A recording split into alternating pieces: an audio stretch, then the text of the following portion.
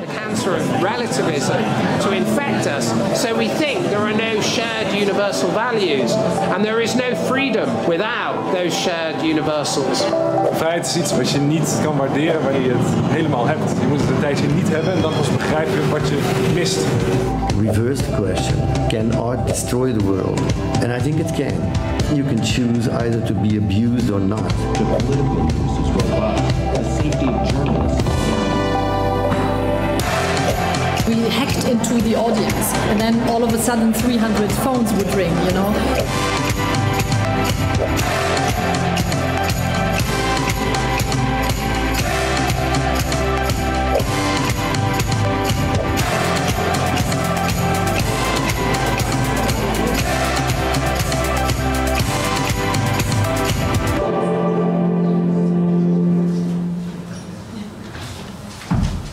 Hoi.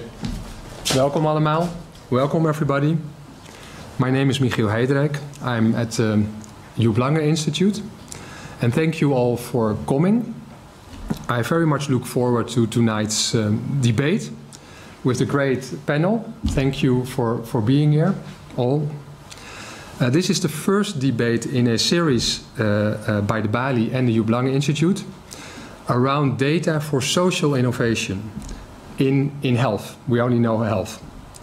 Uh, to some, the potential for data to improve health seems unlimited. It is not that long ago that one of the founders of Google, it was basically in Time magazine, promised to cure death.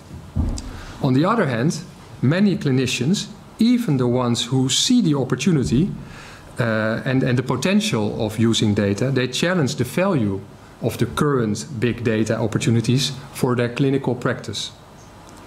At the same time, especially here in the West, we seem reluctant to even embrace any of these promises. We, we talk constantly about data ownership, privacy, security for a reason, don't get me wrong, but I mean, we don't even talk about the value of health and uh, of data in health. Uh, at the Joep Lange Institute, we firmly believe that digital innovation offers the opportunity to improve and democratize health and healthcare around the world. We try to activate influential people like yourselves um, to think, uh, to, to, to work on the status quo and to think differently. Because innovation is not just about inventing new things, but very much also about the political will to make them happen at scale for the public good. Digital technology greatly reduces transaction costs, increases transparency, and produces data that policymakers, professionals, and business leaders now lack to make the right decisions. And we see digital technology revolutionize the, uh, daily lives, especially in countries like uh, China and Kenya. Also here, but also in those countries. I know maybe everybody knows WeChat, people know M-Pesa. There are great things happening around the world. It's probably also in those countries because the need is the greatest and the momentum is there. Africa is making progress in many areas, but millions of people remain excluded from basic services like healthcare. But nine times out of ten, you can bet they have a SIM card and access to mobile phone. Even to mobile money using a simple Nokia. They are way ahead of us there. The mobile revolution is changing the social and economic fabric of that continent. And now healthcare, in our opinion, is the next digital frontier. The opportunities for better access and quality are enormous. So why shouldn't we collect more data for social innovations rather than letting Facebook, Google and Tencent, the mother organization of WeChat, to take over yet another market? This is not a theoretical question. Huh? Because wherever we live, we are already sharing all kinds of personal data with those giants uh, we speak about. So, enough said about the series, uh, and I will give the floor to our moderator, Rindert de Groot, and look forward to the rest of the evening. Thank you very much.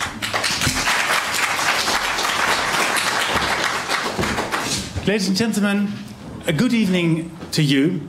Um, I must say that I do look forward to a bit of an impossible task. Because if we look at this question, privacy over quality. Now, I am sure that if I would ask you that um, who would value their privacy, I'm sure that everybody would say that they do. Now, and if I would ask you that who would think that quality of um, healthcare is important, I'm sure that everybody also would say that it does. Now, I would say that now going into a discussion uh, into the value of the quality of data uh, for healthcare, big data and services uh, for healthcare, and then go into this discussion where does it end, uh, we will always have to weigh arguments and would also uh, come uh, and would also have to, to face the fact that there are certain risks. So I guess that uh, in this discussion that we will have until 10 o'clock this evening, we will see many opportunities. we will also see significant risks. But we will not, I think, will uh, go into a debate pro and contra. I also have bad news for those who will uh, uh, hear all the arguments or all the opportunities. We will not be able to do that. But I have good news for, for those who look forward for a good discussion and an interesting thing. Because this is the age, as you all know, of big data, where the opportunities are endless and we will not know even what the, where the opportunities go. We only know that they are endless and that we will see in the coming years an enormous proliferation of opportunities. I will ask a couple of questions to you, and you will also be able to ask questions to the panel later. We'll introduce uh, a little bit more what we are going to discuss uh, a little bit later. But first, let me introduce the panel. And let me uh, first ask them to uh, come forward. Uh, Francois Venter will continue. Please uh, come forward. Please sit on these first two. You will see them in the first round. They will stand. Um, uh, Dianda Veldman, please come forward. Jerome Singh, please sit there. I will ask, um, some introductory questions, and then we will go into the first question round. But I would, uh, before introducing even our guests, I uh, would like to know who are you? Um, would you please stand up, everyone? Would you please stand up for a second? Um, now, would all the doctors please sit down? Four, sit down. Okay. Now, would all the, the students please sit down? Ah, that's, that's, that thins it down. Now, would all the activists please sit down? Oh, there are no activists. There are no activists. Scientists, scientists. There's one, there's another one. Okay, now um, let, let me see. What are you? I'm just an interested person. Just there are still only just interested persons. Have good? Interested persons. Just please, just the interested person. Please sit down. That's quite enough. Who is just not an interest? That's interesting. What are you? I'm Mecht van Homberg and I'm having an assignment for the Joep Lange Institute. That is very good. People with the Joep Lange Institute, please sit down. Sorry, I'm an innovator. An innovator, very good one. Uh, other innovators also, please sit down. Sir? I'm a manager of a big data firm in healthcare. Ah, uh, big data firm and, and other firms, people from the corporate sector, please sit down. We have two left, two standing. Sir? Hello, I'm a privacy counsel. Privacy counsel, you, and last but not least, sir, what is your identity? I'm a psychiatric nurse with the Amsterdam City mental health crisis. Psychiatric nurse. Thank you very much. Um, and then I would like to ask who uh, your expectations of this. What, what do you come to uh, to hear? Who would like to say that? What is your expectation of this debate? When would it be? Maybe that's the correct question. When would it be successful? I go to you, madam. I think it's successful if we hear very different opinions and have a very good discussion. Mm -hmm. Fair enough. Can I ask you? Um, if we have great point of improvement for next discussion. Great points of improvement. Finally, you, sir? When they agree with me. well, we'll have to see about that if they do. We'll see that. All right. Now, um, uh, as an opening question, um, I would like to ask you, um, uh, uh, Francois Venter, you are the Deputy Executive Director of the Reproductive Health and HIV um, Institute of the University of Witwatersrand in South Africa. Um, I would like to ask you, um, is big data, would you consider, or data in health, uh, is it just useful or is it completely necessary for the development of healthcare? So thank you very much. Um, I think it's more than useful. I think it's a massive wasted opportunity for us to use very precious resources and reallocate them appropriately. And I think it probably holds, you can speak, I'm a South African doctor, we're a middle income country. The amount of money we spend on healthcare, which is 11, 12% of our GDP, and the information we extract from that usage is, uh, you know, that ratio is very, very poor. So I would say it's absolutely critical that we use large data sets to start informing how we use precious resources. Mm -hmm. Thank you very much. Um, so you are uh, uh, your specialization is, is, HIV. So I am a HIV doctor. I come from a diabetes, oncology, hypertension, transplant um, background, but for the last 15, 20 years, I've been doing almost exclusively HIV care, mm -hmm. which brings in, I think what's important about HIV is it brings in, I think for that field, issues of confidentiality and issues of sharing information with uh, sexual partners, with sharing information with about sensitive groups like gay men or you know any group of people like that. Uh, we've had to think about this a lot um, and increasingly, because of the expense of the drugs, thinking about resource allocation matched against the, the, this, this kind of um, these data sets that we, we, we, often feel are not used enough. Mm -hmm. Thank you very much. Um, Roel Coutinho, uh, welcome, an epidemiologist uh, who knows everything about viruses and about infectious diseases. Um, I uh, traveled the world, knows about lots of countries, uh, as in data you would be able to draw a comparison between uh, every region of the world, basically. But what would be the main difference uh, as it comes to data for health between the emerging economies and the let's say, the, the, the, rich north as it comes to health uh, data for health? Um, well, I, I, completely agree with Francois that, that, that these data are very uh, important and very helpful. I think the main difference is the quality of the data. I mean, the, uh, how good are the data and how well can you use the data for the question that you are asking for? Mm -hmm. And that is a, a crucial issue um, for which I can give some examples. Uh, for example, if you uh, if you would say, I'm interested in uh, the start of the influenza uh, uh, year in this country, you can ask general practitioners to give an idea about uh, how many patients they see with fever. Very simple. Um, but at the same time, so you get an idea about there's an increase of patients with fever, very important. But at the same time, we have a system where we ask them to take uh, specimens where we type the viruses so that we know exactly what kind of virus it is. So it's very often the combination of very good data and very good information that helps you. I think in general, Big data can be very helpful, but the question is how good are they and how reliable and how comparable. Mm. And that's a crucial issue. Okay. Thank you very much. I'll pass the microphone to Dianda Veldman. Um, now you are uh, uh, with the uh, Patient Association uh, of the Netherlands. But I, uh, I read that in the past you've also been involved with the Waka Waka Foundation. So you have been also involved, let's say, with all types of empowering individuals all over the world. Now, I know this is an impossible question to answer, but if you had to choose between the, let's say, the most healthy um, person in the world or the most or the person in the world that is most in control of his or own her own data what would you choose? Well, that's an impossible question. I already announced it.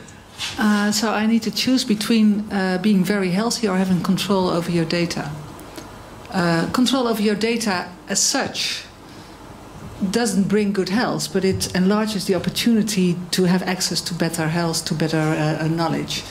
Um, no, I, I, can't answer this question. I'm sorry, uh, Mm -hmm. I think it, it, it's about two uh, things that are really uncomparable. Mm -hmm. I mean, I, I, wish everyone a, a, a good health, but uh, if you have not, um, uh, uh, you deserve support and you deserve uh, information and uh, rights and well, all kind of things like that. And, and maybe uh, big data can help a little increase uh, those things. What in terms of, of, of data uh, and is the main concern now on the table of the Dutch patients in the Netherlands? Uh, I think the, the, the, things we mostly uh, hear is that people are concerned about uh, privacy and uh, data security. I think these are the, the, the most uh, important uh, challenges we talk about these days. Mm -hmm. Thank you very much. Jerome Singh, welcome. You are the head of ethics and law of CAPRISA, the Center of, for AIDS program of research in South Africa. Uh, you've also been involved of a program of the uh, Bill and Melinda Gates Foundation, uh, which uh, put forward the grand challenges of, uh, uh, of health, of global healthcare. What is the grandest challenge on a global scale when it comes to the ethics of healthcare? There's many. Well, first of all, thanks for inviting me to the panel. I think there's probably many, many challenges, and I think a lot will depend on how you balance risks versus benefits. And when you're dealing with this from an ethics perspective, you ask yourselves what are the potential benefits and what are the potential risks, and you weigh them up against each other, and you come with the net benefit. And I think you know the other important point to make from early on is that just because there's risk does not mean that you don't do it.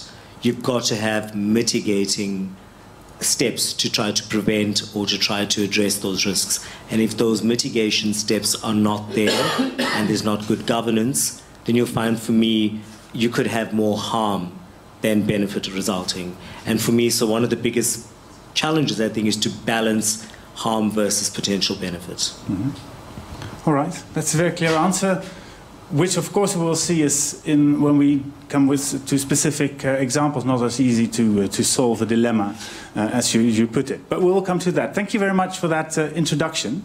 Um, what we'll do as follows: we'll have three discussion rounds. Um, I will ask two of the two uh, out of four speakers to come forward and stand here. That doesn't mean that the others can't also contribute, and that it also doesn't mean that you can't, but that just gives a bit of a flow to the discussion. First round will be mostly on the opportunities for data for health. Um, the second will be mostly uh, to the dangers and to the risks to it. That's a very rough um, division of what we're going to deal with. Uh, and in the third round, we'll look towards the future. That's roughly what we'll do, but you will see how it goes, and uh, well, let's just sit back and enjoy. Let me first uh, invite the two doctors to come forward. Roel and Francois, please, please join me for uh, the round. Let the microphone uh, remain here. Um, so let me first uh, ask you, uh, as a question for you both, um, what would be the biggest opportunity? And you are free to talk about both the uh, emerging economies and, and here in the, the West or the North, what terminology you prefer, for data for health. And we have also been talking a lot, we've talking about data, big data services. We also might want to, to be talking about what we're in fact dealing with here. What is, um, what opportunities we are discussing. Who would well, like to well, be the first? I, I think that the, the question is so general that it's extremely difficult to answer it because, um, and that's also the point I would like to stress. I think before you, uh, you you can say you can use data, you have to formulate the question, and you have to think about what do you want to know. I mean, for HIV, there is, and, and, and Francois can, can, can, there's a lot of interest at the moment, for example, in we have data on HIV prevalence per country. And basically, these are useless data because they give uh, data about the whole country, which of course does not give any information on where exactly the problem is. So at the moment now, people are collecting data, much more specific data on exactly in what area the prevalence is much higher. Uh, so that if you can, if you have this kind of more uh, specific data, you can also target your prevention to specific areas, to specific groups that we have always been doing, but always to specific, specific areas. So then you have a clear question that you want to answer from the data. And I think it's, it would be a pity to start with the simple fact that you collect data without asking yourself for what what purpose. So thinking about for what do I want to use it is extremely important because otherwise later on you find out that you can't answer the question because you collected the wrong data or it was not specific enough. But, but can you elaborate from there for HIV prevention? Could you specify what kind of data would we need to collect uh, to help HIV um, prevention or to combat HIV? Well, that, I, I give the floor to Francois because he's he much better. I mean, South Africa is the country with the highest prevalence in the world. So you, I, I give the floor to Francois. So I think it's important with these big data sets, particularly, is on the one hand there's research questions, and we can look for interesting associations that we can explore in more details, particularly for rare things. But for me, it's a management tool. So, for instance, in South Africa, we have about 4 million people scattered across about 4,000 facilities um, um, on antiretroviral therapy, which, and successful antiretroviral therapy is a very useful tool for HIV prevention. If we control the virus in the bloodstream, people don't transmit the virus. For me to know that at Clinic X, the, the, the viral suppression rates are lower or there's some against some uh, some benchmark that they're falling below that, and then look as well at the um, human resource allocation according to that. That's a very powerful tool to say Clinic X is not performing well. It also means in Clinic Y that if the viral load suppression rates are very good, it means a whole range of things. It means the drugs are getting through, the the patient empowerment um, processes are, are, actually happening in the clinic. They're tolerating the side effects. That means I don't have to pay attention to that clinic. So in terms of program management, it's incredibly important to have this aggregated data. Roel's right. You have to look at what data you're collecting because if you talk to researchers that want to collect 50,000 things, you need to be very careful about what you do and then collect it very, very well. The nice thing about laboratory data is that it's, it's usually collected relatively um, consistently and, and the quality, as long as your quality assurance programs are good, uh, is pretty good. Yeah, can I give another example where, where, which is well known for our country, for example, is the vaccination coverage in a certain country, which is a very good example of where you could use these data for targeted intervention. For example, you know that in a certain area or a certain group, the, the prevalence of or, or the vaccination coverage is much lower, and then you can predict that there will be a problem in that group, and that's where you can want to target your intervention. So uh, I think yes, data, big data are extremely useful, but think carefully about what you want to do with it and what you want to collect. But would it help to know who would speak out against vaccination on Facebook, for example? No, I mean, to, to that's useless data. information. Okay. That's useless because people say a lot of things, but that's not what they do. So that's useless. Would it help to know who is gay? By co- combining data on, on internet? social media? I mean, I'm, I'm looking to what kind of sensitive data, kind of Well, data. sex- sexual behavior data, people will, I mean, the people who will come, come, who will come forward and say on, on internet they are gay is a very specific small group. So you would, I mean, that would be biased information. So that, that is very difficult. Are you asking perhaps if we knew that in Holland 500 people, these 500 people are gay, would we have an HIV prevention um, intervention that we might direct to the doctors who are looking after them? Yes, I think that might be useful. Um, it would have to be dealt with very carefully, and I think the confidentiality issues and whoever has oversight of that would have to be dealt with very, very carefully. But if you forget about all the oversight for now and just see, just look at what is the maximum kind of, you know, sensitive information about people's behavior when you talk about HIV, sexual behavior, risky behavior, opinions about sexual behavior, etc. Would that be helpful to know everything, to put it all in the system? But, but data on sexual behavior are inherently uh, uh, unreliable. I mean, they are. I mean, there, it's it's a huge number of studies have shown all men. Uh, sup- uh, re- report heterosexual men report more data, more partners, and women always report less partners. That's the general rule, and I know it's a generalization, but it's it's it's. it's we from might a- ask the audience. no, no, no. It, I think it, it's it's very. I mean, if you ask this kind of sensitive data, you get an unreliable answer. So that's a typical example of collecting data where you cannot do a lot of. Where you can't do very much with it because you have no idea what you read, what the value of the of the data is. And as long as you don't have that, it's very difficult to interpret. Well, uh, question. What do you? What is your definition of big data? It's a good one. Well, my, my definition is that it is a, a very, very large group of people where you have uh, data on, well, it depends on what kind of data. It can be samples, can be data on, on, on people. But there's no, as far as I know, there's no real definition on the numbers. From different sources. Yeah, from Sometimes from different sources, uh, but for, for example, if you have sample collections for, let's say, genetics, uh, you have uh, the information on the samples, and you have samples from hospitals that are that are an example, and you have a limited information of the people. But the combination, of course, is always best. If you have laboratory data without background information, that's useless. Uh, and if you have only epidemiological data without biological information, as a biologist, a person who's trained in biology, I'm always very hesitant to accept that. All right, we have an interruption. One, one second, sir. So- I have uh, one interruption from. Yeah. Yeah, I, I was uh, wondering if we can make a difference between structured data, which I hear Roel talking about um, a lot, versus Yes. unstructured data. Structured versus unstructured. Yes. Big Yes. data is usually understood as mostly unstructured data, as I understand. Okay. Very short, please. What I call curated data.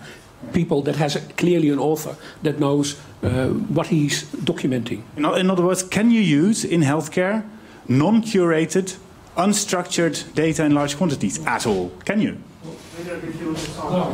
Example? Yeah, great.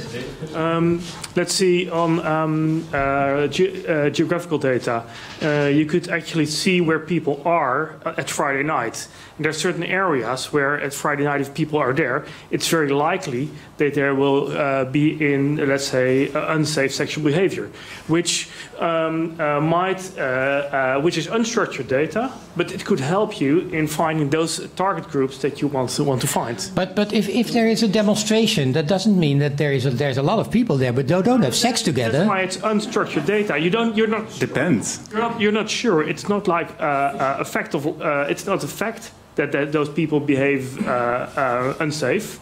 However, there's a big opportunity, a big, big, uh, big possibility that they behave unsafe. I think that's the whole uh, thing about uh, this uh, big data. You're not sure. You're just seeking patterns. Clear. Alexander? I was thinking on what Dr. Coutinho said about uh, genetics. So genetics is also related, I think, to ethnicity, right? In many cases. So it, wouldn't it be? Well, it's more used for, for personal medicine. I mean, the idea is behind it that if there's an outbreak or if some, something new is discovered in a certain gene that a certain ethnic group might have, you would want to try to find those people, and you could use Facebook for that, the Armenians in Holland, or I don't know, or whatever club there could be. Uh, would it be useful to know? I mean, we don't know who has which ethnicity in Holland, right? It would be good to know, or not, as a doctor. Yeah, I mean that's a good example. I mean, as you probably know, in the U.S., it's it's being uh, it's it's not a problem that people are ethnicity is is something that is uh, norm. All uh, people give their own ethnicity, and then they say that is your ethnicity. Here in the Netherlands, it is not being recorded. The general practitioner does not have information about ethnicity, which you can, which we understand because of the background. And we recently we had a, uh, which we discussed, we had a, a discussion on hepatitis C, which is a disease which is mostly happening among either injecting drug users or from migrants coming from certain countries.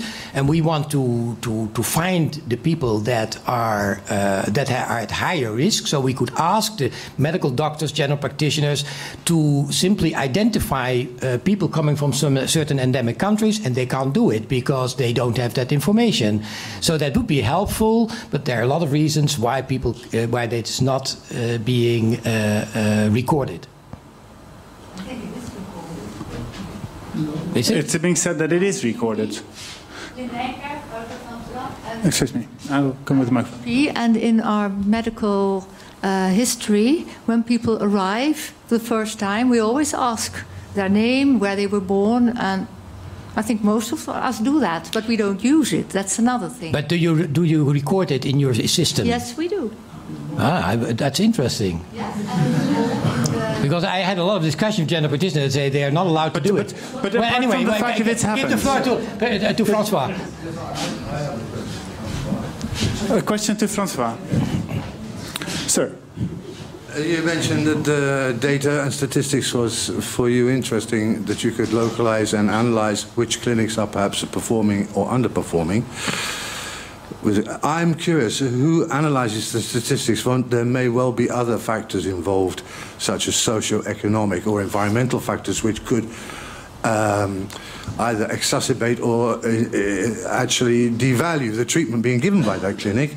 And secondly, just as in the British model with the United Kingdom, once they start identifying clinics who are performing better or performing less well in terms of uh, achieved rates of uh, uh, uh yeah, uh, league tables is the term they use.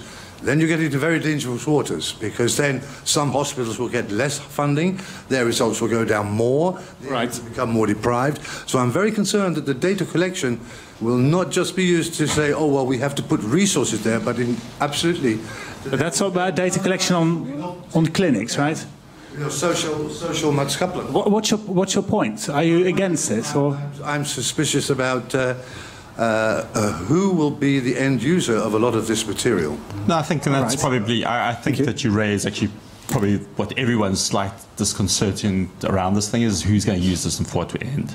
You know, for me, the the ability to um, look, I, I, just to give you an example, just of how we, it also overturns conventional wisdom. So in the HIV world, we were always told, you know, as the, the program has got busier, as we expand uh, coverage, um, the bigger clinics would, the adherence would fall over. That bigger clinics, the, you know, the attention to detail, there would be less counselors, there would be busier clinics, that the patient's adherence would just would fall over. In the smaller clinics where people got more time, that they would be able to um, you know, spend more time with their patients. We saw exactly the opposite. In, patient, in the small rural clinics where there were like sometimes 30 or 40 patients, adherence, the viral suppression rates were 40, 50%. In the very, very busy clinics where I work, some of the, some of them the busiest clinics in the world, and we had 90, 95%. So what was happening in those clinics anthropologically was really interesting is that the patients were starting to form support groups in the bigger clinics, while when there's only 30 in the rural clinic, there just wasn't enough, in, uh, was enough there. So for us as program planners is to start overturning this decentralization program actually might have done some harm and trying to, to, to think about what that might mean. But you're right, we, I'd like to think we're relatively trying to do the right thing around that. The, the fate of what we had, do see sometimes, particularly in the rural areas in South Africa, you know, you live so far away from a clinic, you're very lucky to have one near you. So to have choice between two is, but in the urban areas, we have seen that, is people will move from one clinic to the other based on their perceptions of whether it's best or not. I'm not sure in our situation we would take league tables particularly seriously. We'd probably take more seriously whether our uncle was treated well the last time in a particular hospital. But I think that your, your question is well taken, or your comment is well taken would, if I would summarize this, or if I would draw a line here, is uh, would data or well, services based on, on data, as the gentleman here refers to, uh, would be equally powerful uh, to empower patients both here and in Africa, for example. Would that be a fair statement? I, I think so, but, but again, I think uh, you have to define for what use you, what, what do you want to use it for? I mean, if you have quality data and you can use it to to improve the quality of the care, it's very helpful and very important. And you can say, well, it's a difficulty for the hospital or, or the clinic, but basically it's not for the clinic that we're doing it; it's for the quality of the patient care. So, uh, what I mean that that's that's a very clear. Uh, goal and an important goal, and you have a lot of goals like that in healthcare. Mm -hmm. So from our side, we, we're, I'm sure it's really big data, small, this technologically automated data, is to say, can we push data to cell phone technology in particular? So we have a blood result that your disease. Can I push that result to your phone? You pick it up and do something with that information. Obviously attached to, you know, if, if your result is X, you must do Y, and if it's Y, you must do Z. Um, quite prescriptive information, trying to empower patients like that. So I think there is quite a lot of usefulness to that. There's a lot of issues around confidentiality, and there are lots of issues around, particularly around Africa, where we, you know, people use lots of different cell phones and they share cell phones. But there are ways past that, and I think it's a very exciting time to start thinking about can we put information into patient hands to actually make personalized decisions about their healthcare that then, I mean, we were talking about discussing, you know, the fact that actually having a discussion with your healthcare worker rather than being told. Part of that is actually being able to think about the information before you get into that interview with your healthcare worker and having the time to think about the questions you need to ask. Sir?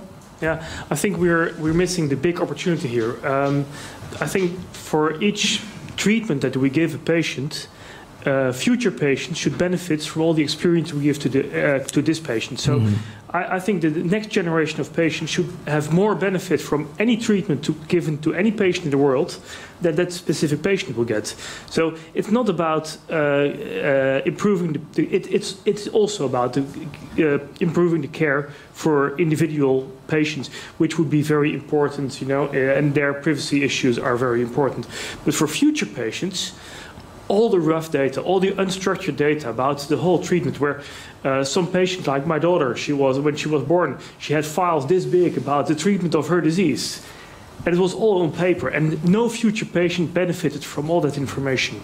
And currently, we store all that information in IT systems. And my true belief is that future patients can benefit massively from all this unstructured data. And so we don't know why we're collecting it, but we know that uh, there's no specific goal, but generally using all this information and being able to, to browse through it, like Google is able to browse through through through all, all my information. I think in general, I, I, I agree. Sorry, I think in general you agree, but the point is you say unstructured data. And for example, look at cancer treatment. I mean, you need to have very specific information on the kind of disease, the kind of treatment, etc. And if that is not collected in a very careful and standardized way, you can't use the data. Is that true? Do, do you agree? Is that true? Do you have to now, uh, uh, Francois, would you agree, uh, collect it in a structured way already? Or can you just dump it and, and, and analyze it later? I think, that, I mean, I'm not a big data expert. My sense is that you can actually discern quite useful data from, from unstructured data. I mean, I, one, uh, maybe just to throw out the controversial ones, which I think have got real, uh, there's uh, the supermarket chain Target in America has these massive data sets where they've been able to work out what women buy from Target, and then they realize they're pregnant later. So they can actually, what they've done is focus their advertising to future generations of customers where they can actually target diapers and things before that woman knows she's pregnant. How, now, from a public health perspective, I actually think that's really interesting because it suggests to me that we can intervene in other behaviors in a medical condition where actually finding something out early is actually useful. I feel a bit creeped out personally that a supermarket chain actually gets that information before my healthcare provider. So I do think these things are interesting, this, the, these kind of analyses and things. They, they, they are looking for behavior. That's, that's Sorry, I, I come with the, with the mic. That, that's, that's looking for behavior, and it's interesting, but it has nothing to do with health data. Right, that, why- that- that why- is a can- valid, but can- can I valid disagree with point. you, is why not? Any, any IT perspective on this? Um, sir? Uh, in the past, you would have to structure your data beforehand, but now, and like what Google is doing, they use MapReduce. It's a two-step process where first you you go through all the websites in the world and you, you map it onto something that you want to count, and in, in the reduce phase, you, you turn it into useful numbers. So it's a thing of the past. Right, so, so please, please wait before you get the microphone. I will go to uh, this gentleman. But on studies like Generation uh, R in Rotterdam, for example, um, those type of studies where they're not actually knowing what they're looking for, but they're just collecting lots of data, um, that's quite similar to supermarket stuff. We afterwards we know that the patients, I know, developed cancer, but we can um, look at the data before they had cancer and perhaps, perhaps predict then that they get cancer. It's sort of similar. But but can you explain me, give me an example what, what you're going to use it for? Because I had this discussion, for example, on influenza, which is very interesting. There was a guy who, who set up a system through internet, and he said, "I'm much faster able to predict what's going to happen and where the and when your influenza epidemic has started." And we compared it with our surveillance system, and it was absolutely not true. I mean, his unstructured data didn't give any specific information better than the information that we had already. It was, it was useless data because it was, not, it was not specific enough to give information about what we wanted to know. And he asked a lot of money for that, and we said no because it doesn't help. So what is the, so what is the example there? Well, I'm not familiar with all the specific examples, but I can imagine that you can find new biomarkers or sort of new indications of Diseases in the future that we're not aware of now yet. All right, I'm, I'm going to the. This is an exception. I normally don't give out the with my own microphone. Go ahead. Hi, I was wondering things like Grindr or Tinder, which would be very useful to map sexual networks. Um, What are- kind? Sorry, say it again. So dating apps, uh, which can be. which Can- can, can be somebody really, give a little really- demonstration really to, to Mr. uh, which can be super useful to map sexual networks, uh, which, for example, with HIV prevention, could be very useful to research or to look into. Uh, if you get more information about those dating apps, you can see whether people have preferences about using condoms uh, whilst having sex. Do you think that it is? do you think that um, that is useful data? and Would you be willing to work with it? Given I don't know, Grindr calls you and they're like, "We're willing to share our information." Do you think it's ethical, or do you think that that is something that would be useful for you to use compared to maybe more old-fashioned ways of mapping sexual networks? Uh, and I think there's other examples, but this is So you've asked um, Grindr. Interestingly enough, there have been several HIV self-testing initiatives actually through Grindr.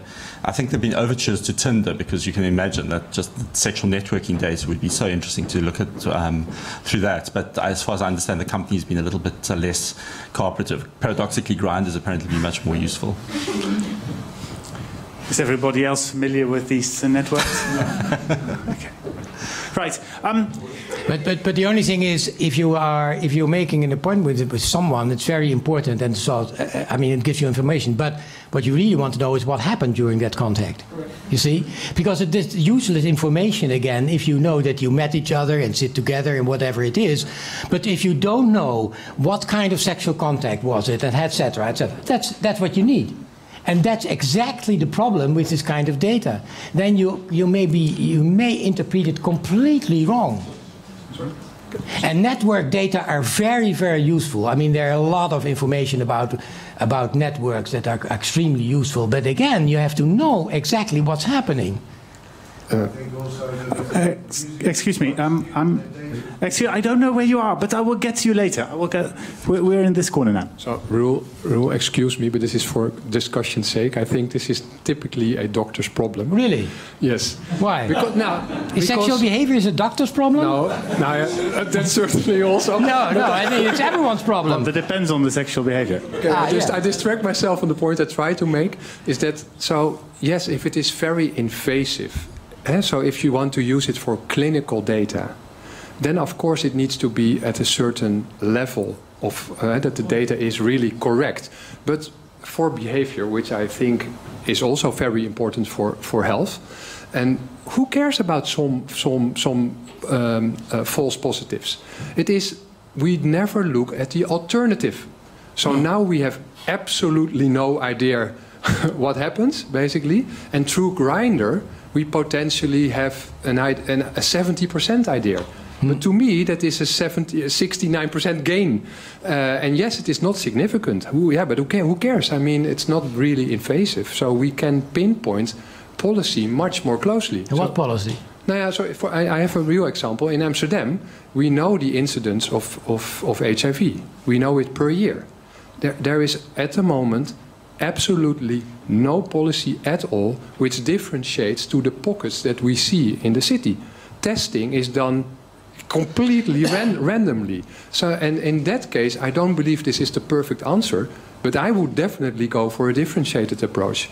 And, and uh, yeah, it doesn't really hurt doing it. A, a differentiated approach. Final reaction of the, for this round. Off you both. I'm probably less um, cynical than Roel, but because I, th- I think with many of the sexual behaviors things, I don't know if you've seen this book, A Billion Wicked Thoughts, which looked at porn purchases um, amongst um, uh, credit card holders, how, they, on earth they got access to this information, I don't know, but, but showed a completely different spectrum of people's like sexual interest to what was actually put forward. And I think from that, it starts overturning a lot of the conventional wisdom around, particularly around sexual behaviors, that start at least asking more insightful research questions.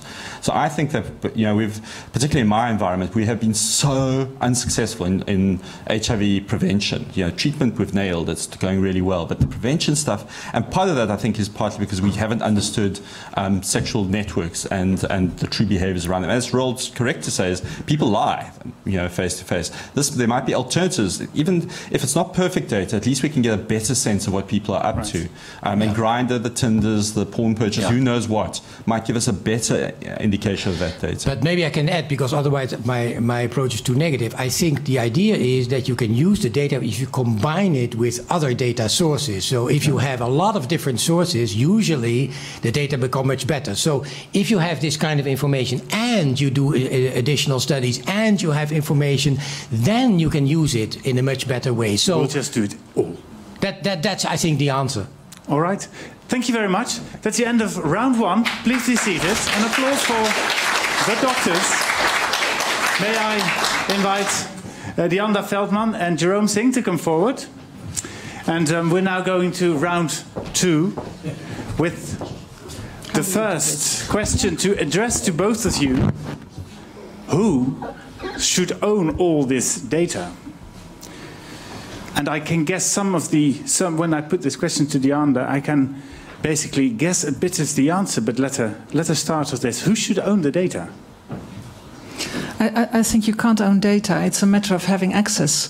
And of course, uh, uh, we find patients should have access to their own uh, data. It's a very important point. And we're also working on this very actively in the Netherlands, uh, preparing an, uh, uh, a situation where, where patients, people, can uh, uh, have, well, actually have their medical data in the palm of their hand data from different hospitals, from the general practitioner, from the dentist, uh, uh, about the vaccinations, uh, uh, etc. But that's not about ownership, but about having access. Do you agree that you can't, that nobody can own the data? I think there's a difference between ownership, possession, and custodianship. So you'll find that you've got to ask yourself you may be a possessor of data, but you may not necessarily own that data. You may be a custodian of that data, but that gives you no rights to control or to manage the data. You're just merely the custodian. So I think I concur that it depends on who wants access to the data and what to what purpose and to what end. So there's there's very different goals from an ethics perspective. If you want that information for commercialization purposes, then you'll find it's a very different outcome. If you want for public health purposes, it's a different outcome. So you'll find that there's no rule that information is sacred and data is sacred, nobody else should have access to that. So you'll find from a public health perspective, if you're in a setting and somebody walks into the clinic and the person has Ebola, that information has to be shared with authorities so that it doesn't wipe out half the city or half the country. So you'll find in that situation the data may need to be shared and different parties may be need to be given access to the data or that information needs to be shared with people. So you'll find that there's no one rule. I think it depends on the context. If it's commercial purposes, is it for individual patient purposes, clinical care? Is it for public health purposes? Is it for research purposes? And there's different configurations of that. Uh, just for clarification purposes, what uh, of the three roles you mentioned is Facebook now of all the post posts about my daily life that I put on it now? So, and I think another important thing just to mention, because we're talking about data, is where is the information held? And so you'll find that information is held typically when you're looking at electronic communications in a server somewhere. And so you'll find that a lot of issues and that you know that the ethics and the legal field are looking at right now is jurisdictional purposes because there's one point of who should be given access to the data, but if something goes wrong, you also have to look at what are your redress opportunities. So, in other words, if something goes wrong, if there's a misuse of the data, a violation, or um, a misapplication of the data, how does somebody get justice in that situation? So you find that with Facebook, as an example, you'll find that they can't take somebody's data from the European Union and commercially exploit that in the United States, for example. There's very different and clear rules about where jurisdiction applies. So you'll find that I think an important issue when you're looking at electronic data is jurisdiction and governance, because governance is where you get your protection. So it's not possession of data, or ownership of data is bad in itself, but it's how good is it governed and what are the implications if there's misuse or misapplication of that. All right. Um, maybe to um, to keep it simple for a second, it will get complicated later, I believe. But uh, let's uh, take one example. To where is uh, on a personal level is uh, is made a registration of somebody's HIV status. Uh, on the personal level, that links a name with uh, an HIV status, and we have both the example of the Netherlands and of South Africa to make it to make it easy. Um, which party could have access, in your view, to that information?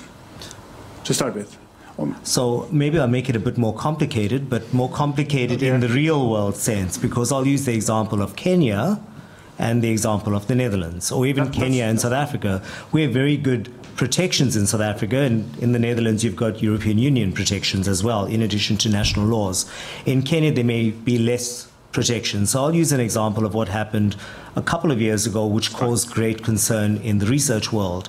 But in a country like Kenya and several others in Africa, homosexuality is an unlawful practice. And so what ended up happening was there were a number of NGOs and entities that were conducting research on MSM, or men who have sex with men populations. And the data was kept in computer databases, there were records, written records, and kept in filed and locked cabinets. And then there were police raids. And the police raids were aimed at identifying these individuals because it was criminalized behavior. So you find there that's a clear example of where information that's stored, apparently for benevolent purposes, can in fact be misused and not by third parties but by state actors. And when the state is the one that's creating laws, you'll find that it puts the patient or patient advocates in a very difficult position because they're supposed to be the guardians of society. But depending on what the local morals or laws of a, of a particular context are, you're going to find that the guardians are not necessarily going to be in the guarding the best interests of the majority of people, or they may in fact be in the best interests of some sectors of society. So that's an example of where you'll find a very different outcome from a very similar set of circumstances will happen in the Netherlands, where that something like that is unlikely to happen, versus in a country like Kenya or Uganda or several other countries where if your information is found, you can actually be put to death or jailed just by information that is obtained lawfully or unlawfully. Because if you remember, I think the other important point to mention is that uh, when you're looking at the field of law, you need to, just for the audience purposes, you need to distinguish between law, human rights, and ethics.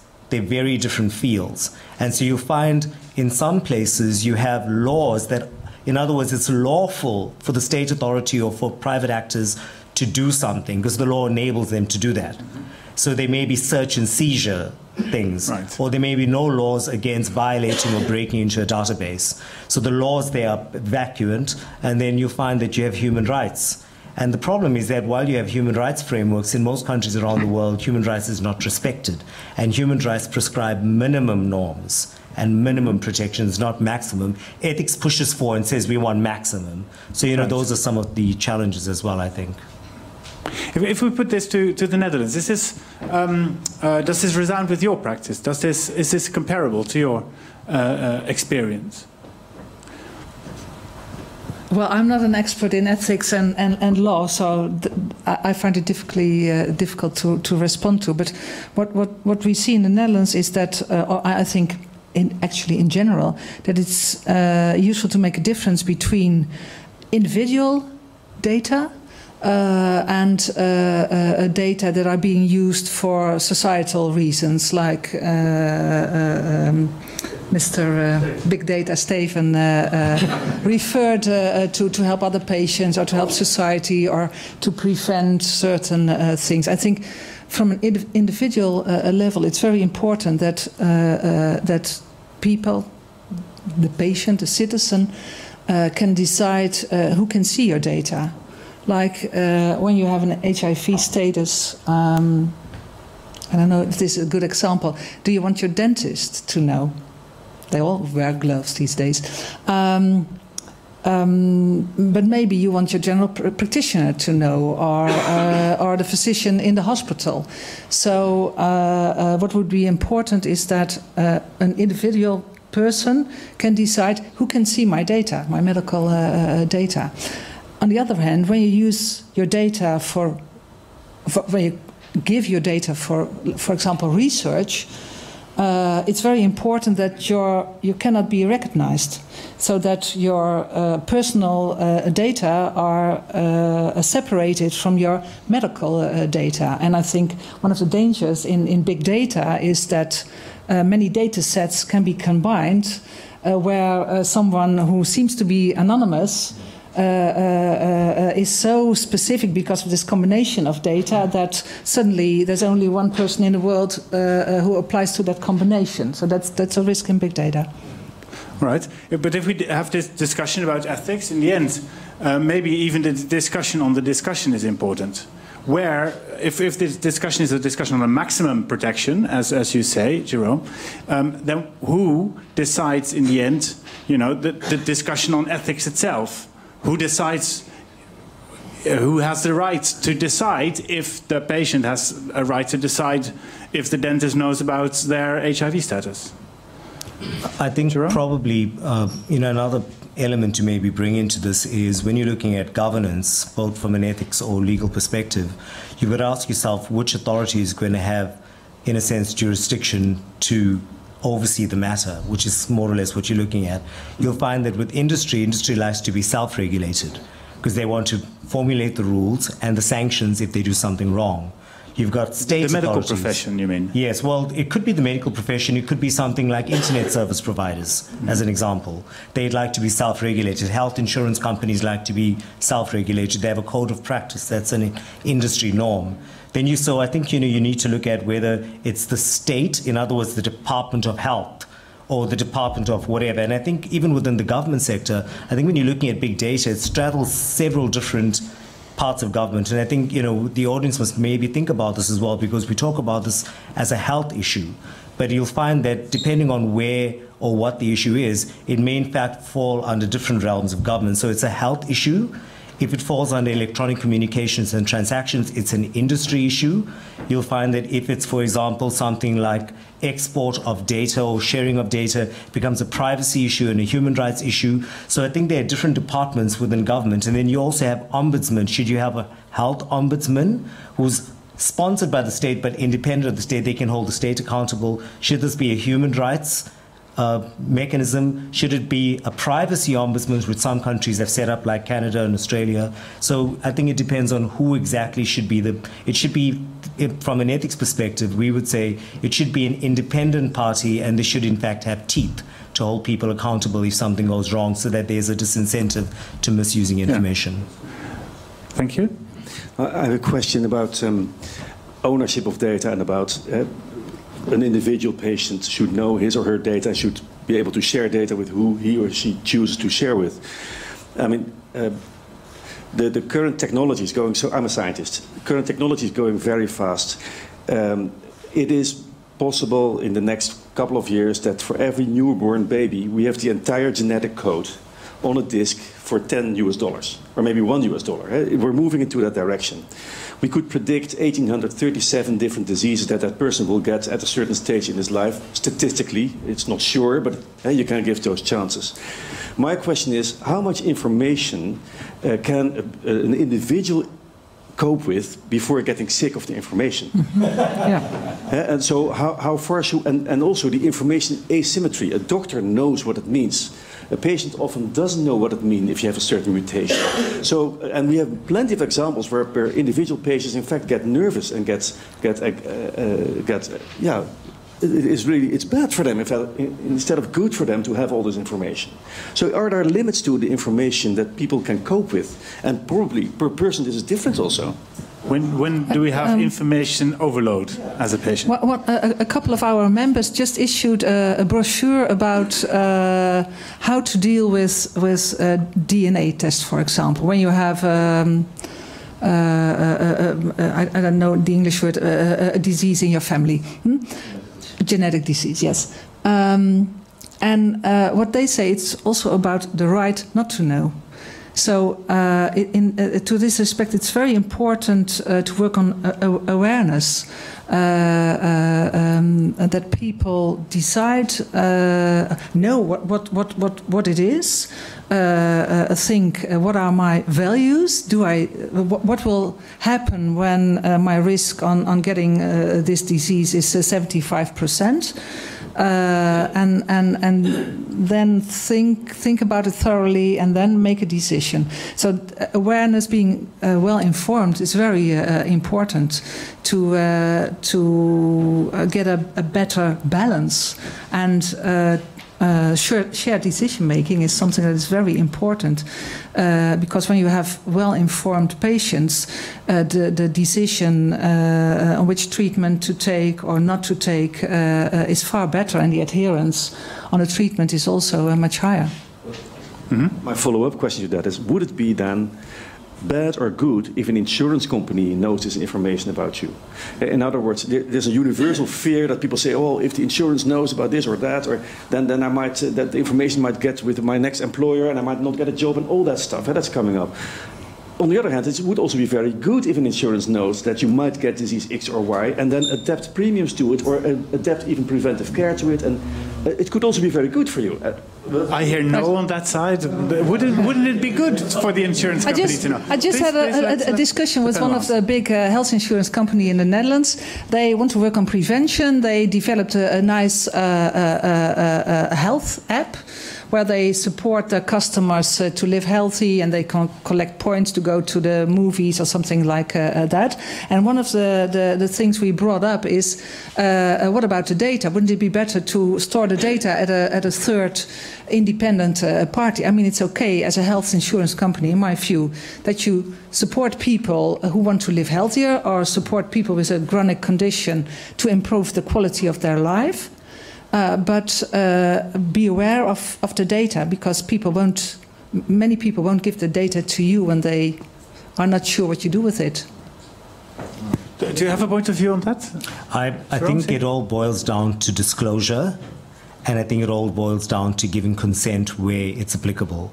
And so you'll find that we had a discussion over dinner very briefly, but it's, and you, most of you maybe are uh, based permanently in the Netherlands, so you probably won't appreciate the difference. But Frans and I were just discussing how when we checked in today, well, well, I checked into the hotel, I got, I had, relatively speaking, I have a new laptop. But it was very interesting. I activated the laptop in South Africa. I've been using it for a few days. As soon as I switched on the laptop in the Netherlands, I think it was largely because of the Google lawsuits and the antitrust action. Immediately, as soon as I clicked on Google Chrome, I got a privacy notification asking me to select what my privacy settings were, which I think is fantastic because it's not, I think probably you don't understand or appreciate the benefits of having that, but you were given a choice to choose whether you wanted targeting advertising, nothing at all. And so I went through all these different things. So I think, you know, uh, it was an example of good disclosure and where it was only done because they were required to do it by regulators, not because they did it voluntarily. They would have very happily, for commercial exploitation purposes, have kept on keeping people in the dark about how is it that you are doing a search today for a hotel in Paris So and then the next day you're getting targeted To keep the, the corporate sector sharp on the leash by regulation. Yes, completely. Sorry. About uh, ownership.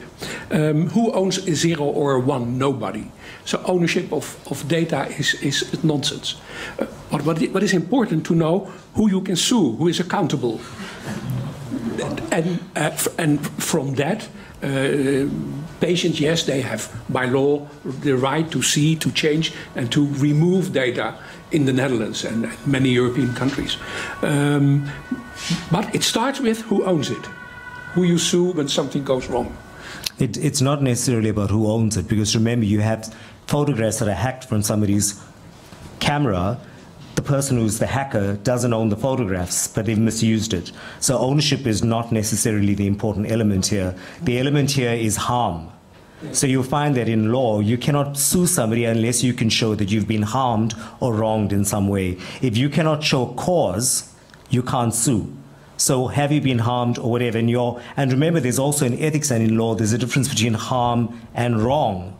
Just because you have not been harmed doesn't mean that you don't have a right and that you have not been violated. And a, a, a, maybe a very easy example is where you pass by a bathroom and you peep through the window or peep through the hole and look at somebody naked, they don't know that they've been looked at naked. You haven't harmed them, but you've wronged them. So you'll find that in law and in ethics as well, you have a right and an action against somebody if they've been wronged or harmed. So you'll find that ownership or possession in itself is not a problem if nobody knows about it, but if they do know about it, they've got to show cause and good reason for why they were harmed or wronged. And if somebody has unauthorized access to something or has gained unauthorized access to information or data, it's a wrong and a harm. I will go to the next uh, question from the audience. Um, what worries me is I haven't heard a lot yet about privacy and how to keep privacy. And I hear that everything is very well organized in the Netherlands and in Europe, etc. But I have some doubts. We have here the LSP, which is a way that every patient can register, and then hospitals can look at all their details and they can look for it themselves.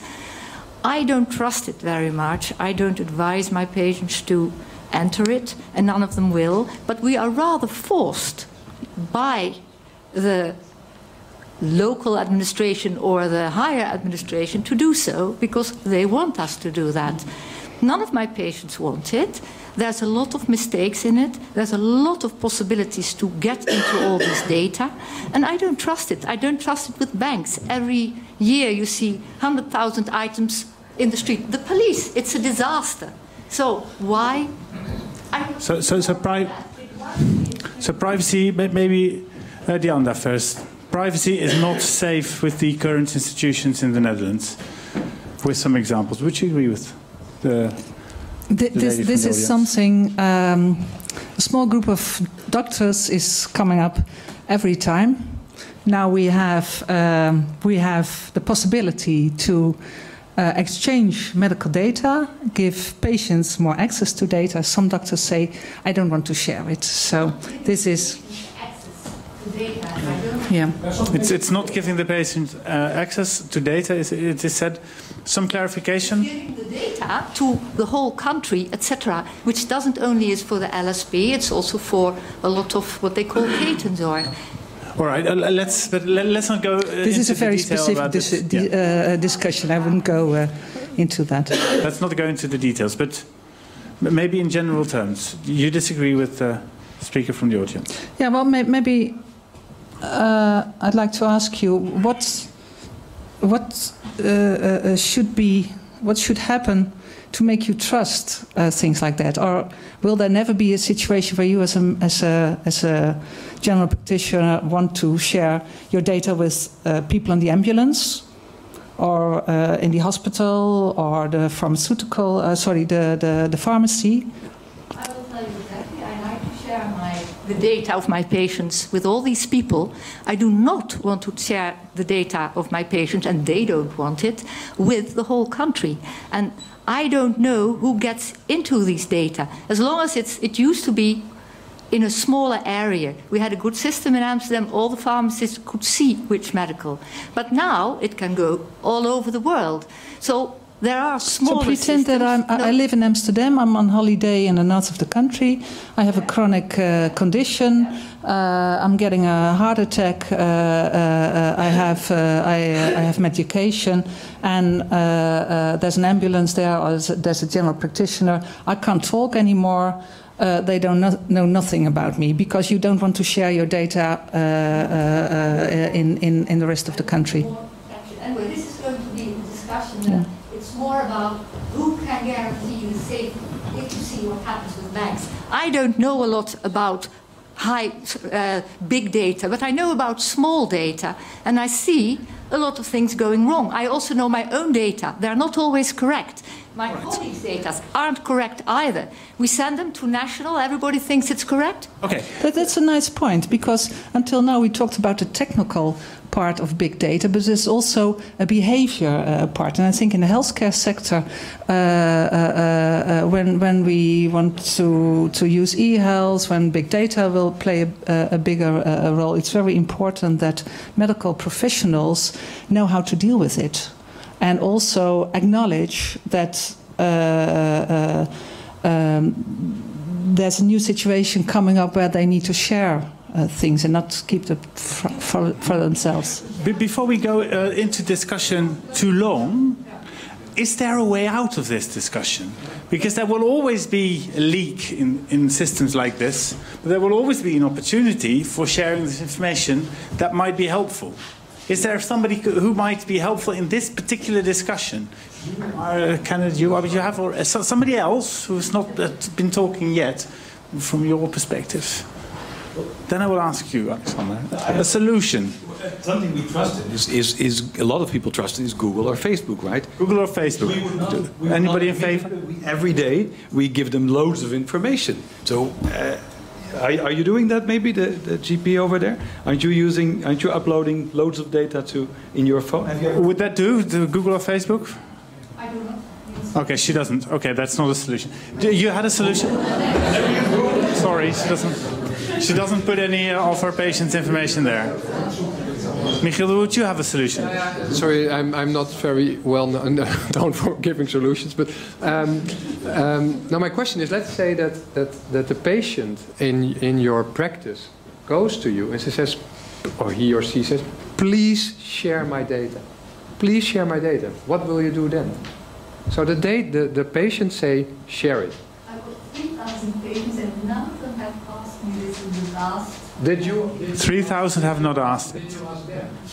Yes, no, I haven't asked oh. that right No, she, she, she, hasn't asked the patients. Sir, a short, a short interruption. Yes, I'll try.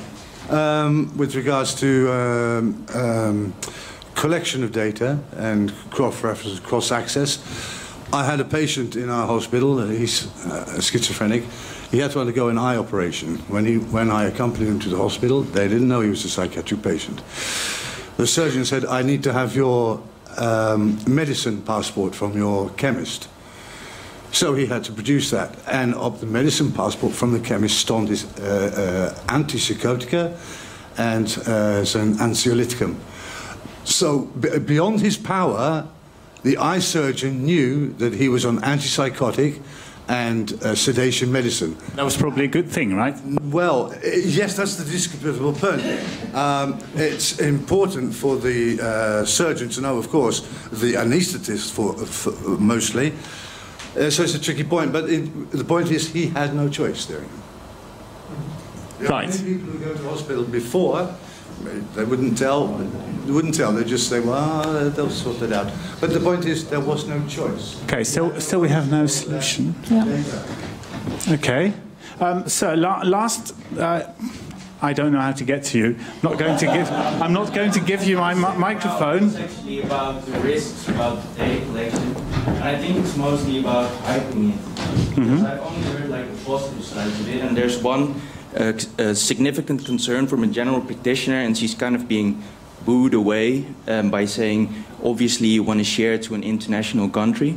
I think these concerns are serious, and I think we need to discuss them seriously, and we do not need to declare privacy as being dead just because you share with Google or Facebook what kind of cupcake you ate on this morning. And we're talking about healthcare, so it's it's significant and it's private, uh, private and it's uh, individual data, and we need to have a serious discussion about it because right now I think the level of this discussion is kind of embarrassing, if I may say so. Well, you make a valid point. I think that uh, this point is also coming up from various sides that privacy is important, but thank you for bringing it up once more.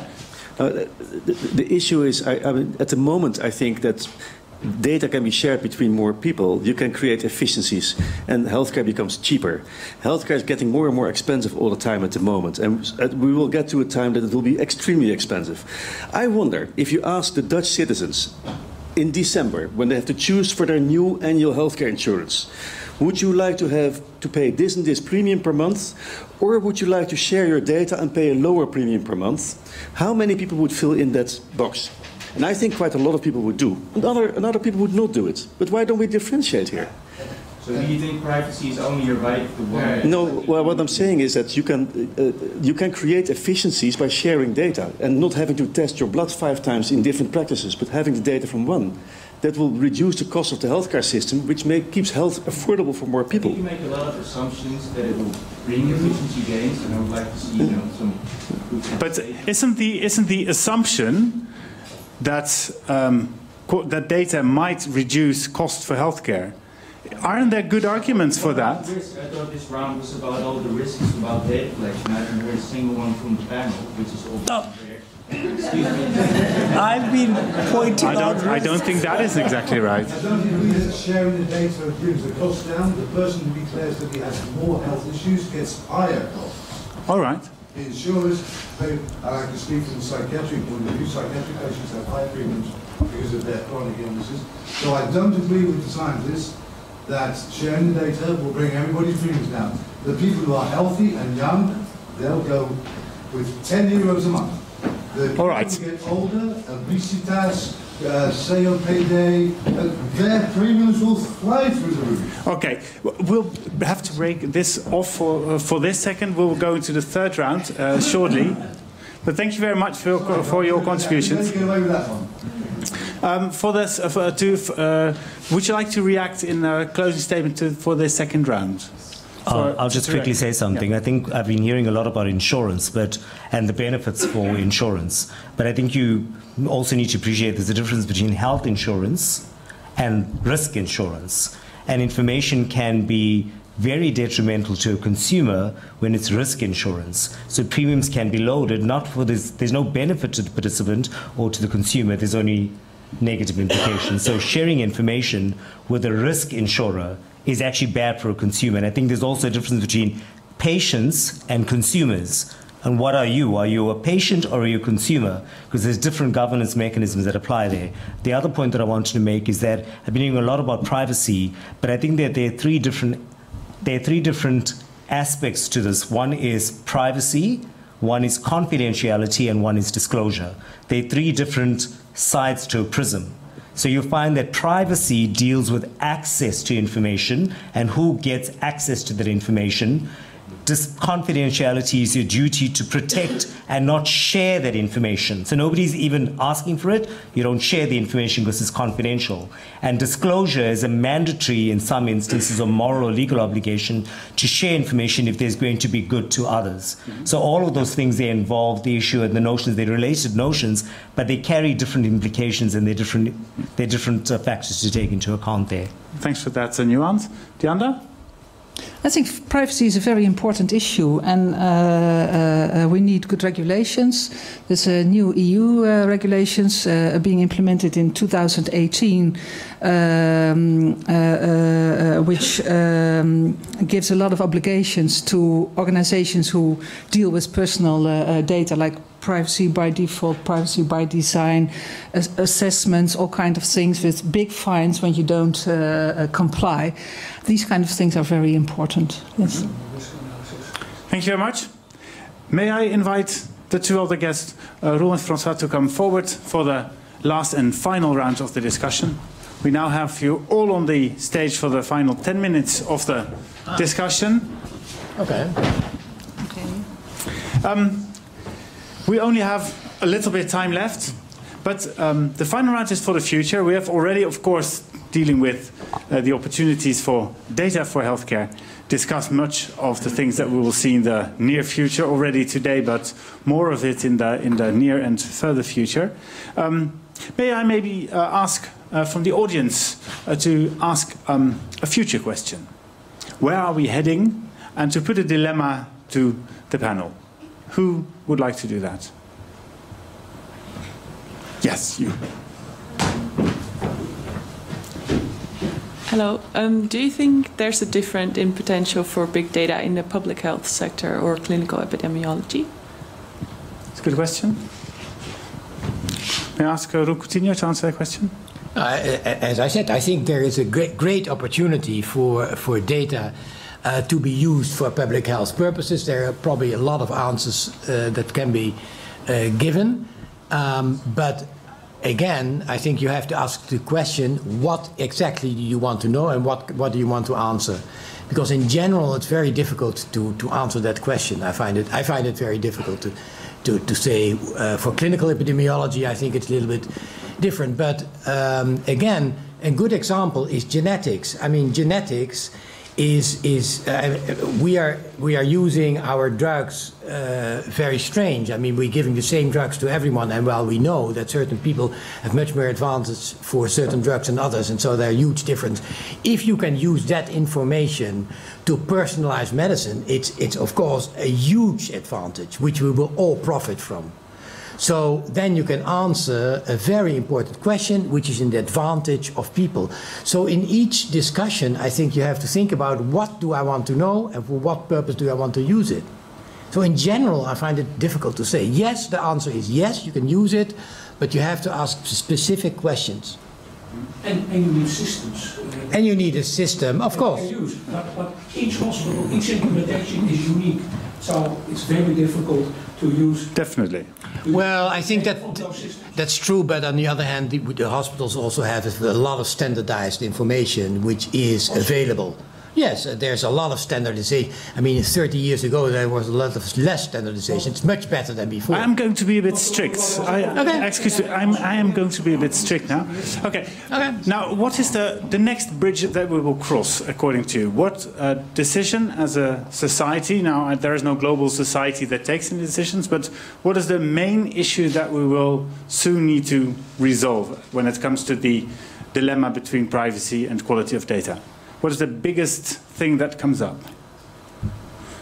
So I, I think the two speakers who were talking about the risk um, is about trust, actually, and who do you trust with that data? And I think uh, we need to acknowledge the fact that a lot of that trust has been eroded by th the fact that particularly linked data to individuals has been leaked into the, everything from social security numbers to like these ghastly situations where two or three countries have emailed long lists of H, uh, you know, patients with their, their, HIV status. And I think that we have to, that, that issue of custodianship of, of particularly the linked data has to be paid, more attention needs to be paid to, and we need to hold people far more accountable for that. For that, we can't expect people to participate in the system if they don't trust that that data is not going to be used in ways that is going to be harmful. Excuse me, um, I would like to go to Jerome. I was just going to say that I think we, now, we need to guard as a society against the normalization of violations because we call it in ethics the slippery slope. Something happens and then something else happens, something else happens, and now we're at the point where five or six years into repeated data violations and data integrity violations, it's almost the norm. So we're not as shocked anymore. So, you know, I think we need to guard against the erosion of privacy and seeing that as normal and accepting it as part of life. I think we need to be very guarded from the word goal and that there needs to be responsible stewardship and responsible custodianship of any data. And if it's going to be put to good use, it needs to be put to public good and public health good rather than for commercialization purposes. But we saw a little bit in the discussion that took part between two sides of the room, it seems a little bit here, that um, a couple of people here seemed to, uh, uh, to think that others in the room did not take uh, the, the whole issue of privacy serious whatsoever. It seemed that, what do we do against that? How do we build trust between people that do uh, take privacy seriously uh, with the, the, people that, well, supposedly also do that. Um, do, you, do, you, take my point? Well, I, I can. I'm just going to say one second, one thing, and that you know, I found an interesting, just an observation here that. Oh, some of my feelings were mirrored by some people in the room in terms of mistrust or apprehension. And it's interesting because the people who seemed to be apprehensive and not trustful were those who have not accepted it as part of normalization. So I'm not on Facebook and I've clear, very clearly set my privacy settings on different search engines. So you'll find that I'm more guarded about what information I share and what I don't and who I give access to that information, including with my health insurer. I opted out of any sort of sharing on a larger platform. But I think, you know, what Francois said is correct, is that it comes down to trust because I haven't yet been convinced that big data users are going to be using my information responsibly and that they're not doing it for my benefit or for society's benefit, they're doing it for corporate interest. Yes, um, you can react. Sorry, uh, this is really a question. I don't want to um, start a discussion because I am not a doctor and I'm very new in this whole field. And I come from a more um, commercial background. And um, I'm just wondering. I hear also some things about for the public good and or commercial use, but where is the exact? Where do you draw the line? Because I can imagine, and again, I don't work in this field, but I can imagine that you might have, uh, or an investor or a more commercial uh, company who um, uh, might think or suggest that in some part of the world or a country or whatever, there is a lack of uh, a, a, good um, cancer uh, hospital or whatever. And they think if we had the data so that we can see if indeed it's true and we can maybe build, for example, a, a, a clinic or a facility there, and they might also have commercial purposes like because they will benefit from it or they will maybe even sell their products there. But they are also helping a lot of people perhaps with cancer in that area. So where is that that that line for you between public and commercial? Thank you. I, I think it boils down to identifiable data and non-identifiable data. I think commercial purposes, you can collect and mine data and see trends and look at big picture things. But I think as soon as you are able to differentiate who amongst that population is doing what, and you share that information or exploit that information, I think that's where the line gets drawn. So I think that there's a fine line between exploiting information for commercial purposes when there's no individual harm and you, you're looking at patterns, there may be, from an ethics perspective, maybe some sort of uh, you know, use for that information and you're not necessarily harming somebody or wronging somebody with that. I think as soon as you start going to an individual level and information is shared about an individual with third parties who are not authorized or not even don't need to know that information, it starts becoming a bit of a problem from a human rights and an ethics perspective as well. Anyone else from the well, I, I, think the difference is if you want to earn money with it, it's a completely different topic. I mean, it's it's it, it basically it comes back to what you think about pharmaceutical companies. I mean, pharmaceutical companies are extremely important, and we gave them the right to develop drugs, and that's very good, and they're doing a do, good job, but they do it to earn money. So if they if they if they look for certain information and they want to use that to earn more money, then the question is for what purpose do they do, do they do that? And at the same time, they're doing very maybe doing something useful. So I find it very difficult. But if, if there is a commercial goal, I would certainly say it's different from a public health goal. Very different. I, th I think with, with an increasing uh, role of ICT in the healthcare sector, uh, there's, there's a new group of actors uh, coming up. Commercial companies, data companies, the Googles of this uh, uh, world. And where doctors uh, uh, are under strict regulations, these organizations are not. And I think something uh, to that respect has to change. Francois, do you agree? No, I agree. I think that we're living in a very different world and quite dangerous world. And I think that's we, we're still sort of finding our way in terms of what is and isn't needed. I would say the difficulty of opting out. So Jerome and I come from a country where the country subsidizes our healthcare heavily, even with managed care. And if the government turned around and said, I actually have a right to at least some of your information, I don't want to know it's Jerome's data or Francois' data, but I want to know how many diabetics are actually in this catchment area or how many patients with HIV are actually taking the antiretrovirals in that. I actually have the right to that to plan appropriately. And I, am uh, going to commit resources to that. But that does like, you know, assume a certain level of benevolence if I want to know who the gay man is so I can go and arrest them and throw them in prison, that's a completely different thing. And, and I think that's a, the slightly schizophrenic attitude we have to this whole thing is that we can see the, the, the, the possibility of good, but we've got tangible um, uh, examples at the moment of where it's being used for evil. And that's the problem we're having to, to try and straddle both. I would hate to be in a situation where we say no more big data because it's my information and therefore it won't be released to anybody whatsoever. That really is not, I, I, think, is a massive lost opportunity. On the other hand, I think it's naive to think that simply handing over all our data to benevolent big governments and just believing that they're going to do the right thing is, is a good idea. I think that perfectly sums up the evening, and I thank you very much for that, Francois Venter. Thank you very much. That brings our evening to a conclusion. It is exactly 10 o'clock, so that brings this, brings this perfect evening to an end. I would like to thank the panel for their wonderful contributions. Uh, Dianda Veldman, uh, Roel Coutinho, uh, Francois Venter, and Jerome Singh. Thank you very much for your contributions, and thank you for being here. And of course, for your questions and for your criticisms, and of course, uh, also for your critical remarks. And I hope to see you again at a next episode of a debate of the Joep Lange Institute and the Balie. Thank you very much.